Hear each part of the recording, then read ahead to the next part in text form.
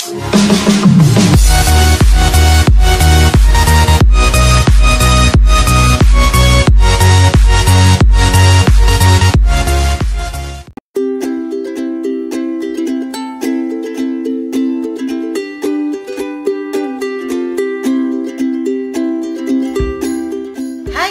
Welcome back to Mama Eve channel again. Ngayon guys, ako ay gagawa ng puto pizza. Later lang guys.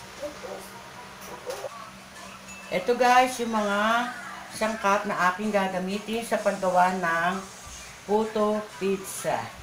Ito, meron ako ditong all-purpose flour. Tapos guys, itong baking powder. Tapos, dalawang egg. And then, sugar. Bali, kalahating kilo to. Tapos, itong evaporate Alaska. And syempre, gagamitin tayo dito ng Eden cheese. Tapos guys, ang una kong gagawin ay lalagyan ko to ng sugar. Guys, gagamit din pala ko rito ng hotdog. Yung pan-toppings natin. Saka ketchup. Yan. Tapos, itong baking powder, ilalagay ko na rin.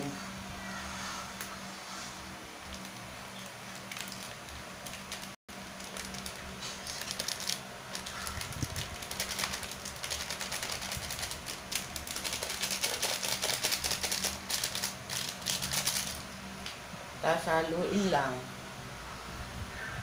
Para mag-combine lahat yung sugar at saka yung baking powder.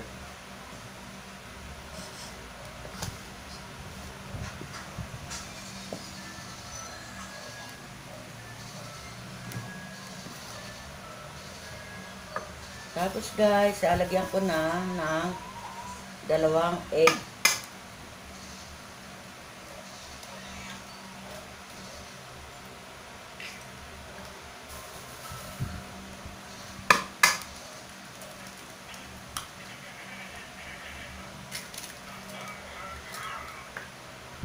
Tsaka ilalagay ko na rin itong evaporate milk.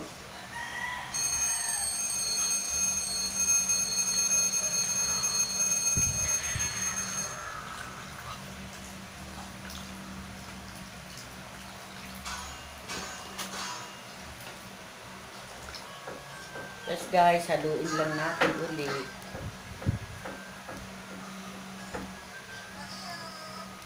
hanggang sa maging maganda ang kanyang texture para sa gagawin nating puto pizza.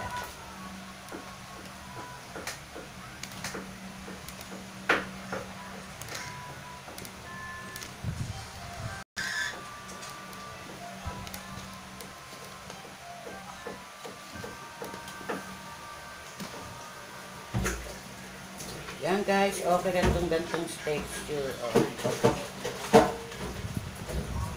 Ngayon, sasalain ko siya.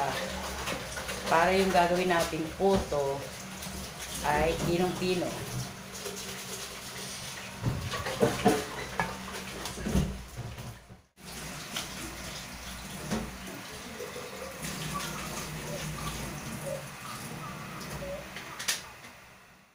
Ito, nasala ko na yung ano, yung gagawin kong puto. Ngayon, ito yung mga molde. Lalagyan ko muna siya ng oil. Ng olive oil dito sa palibot niya.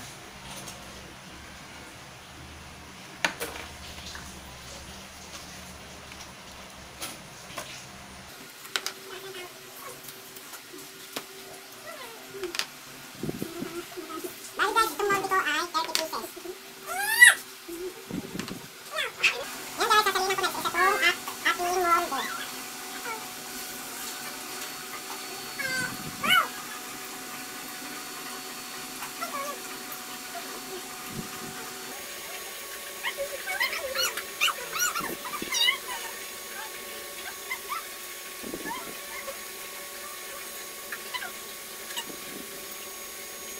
Lagyan ko na ng ano lahat ng molde. Tapos, lalagyan naman natin siya sa ibabaw ng toppings.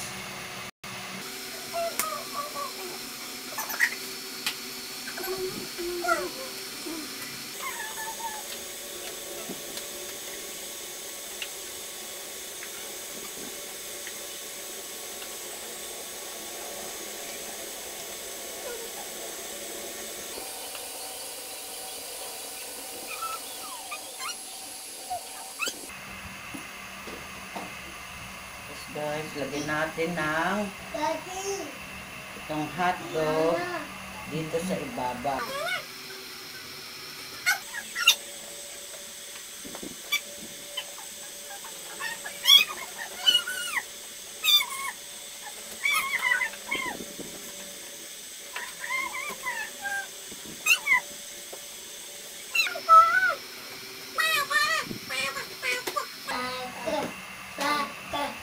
Lagyan lang natin ng cheese.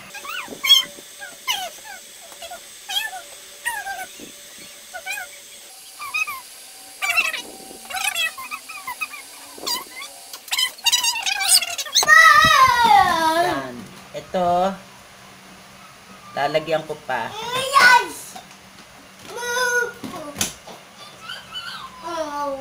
Sorry na guys. At maingay na naman ang aking mak- Yan guys, ilalagay ko na tong mga nalagyan ko na rin ng toppings.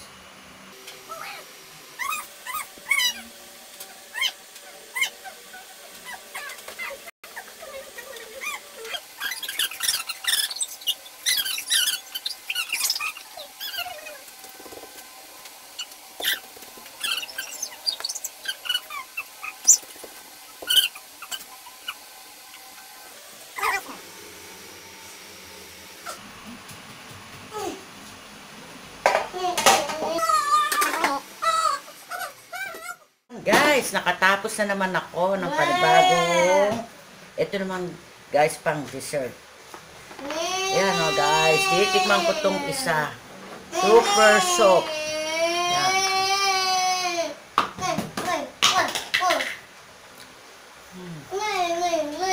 Ang sarap, guys.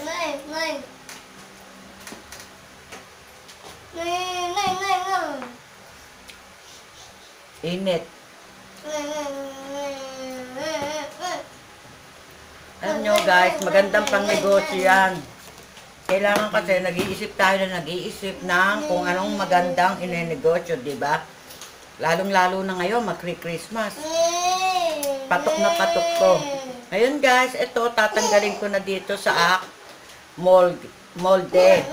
Ilalagay ko to dito sa dito sa plastic container para maya-maya lang pwede na natin siyang ibenta.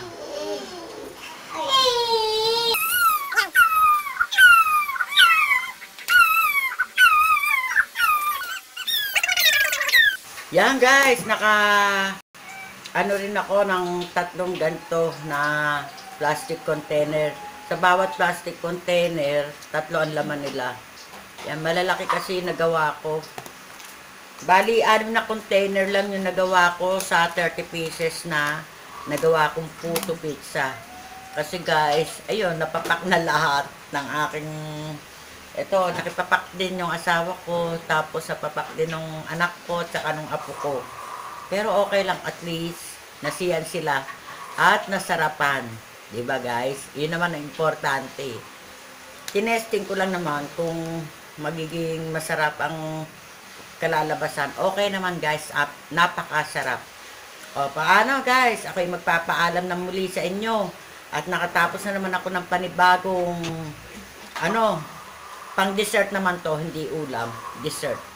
Merienda, ganyan. Merienda, pwede merienda. Alam nyo guys, mag-isip lang tayo ng magandang negosyo na pwedeng pumatok sa murang halaga. Ito guys, pwede namin ibenta to ng 30 pesos. Bawat isa. Malaki naman kasi siya guys. O, paano? Papaalam na sa inyo. At kung bago kayo dito sa channel ko, mag-subscribe lang kayo and click nyo lang yung notification bell for more updates of my video. Bye!